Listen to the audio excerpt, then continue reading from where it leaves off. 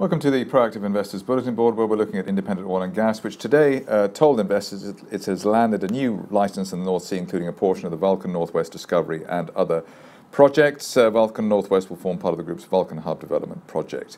As far as the daily chart is concerned, you can see the shares have uh, dro dropped back or slipped back to the main support zone, uh, horizontal support from last, uh, well, May 2016 towards 11 pence and an uptrend line from the beginning of uh, uh, last year also through that area. While we hold the 11 pence zone, uh, the target here over the next two to three months are up to 20 pence. If you're cautious on the shares, maybe wait for a break of the 50-day moving average of 16 pence before taking the plunge on the long side.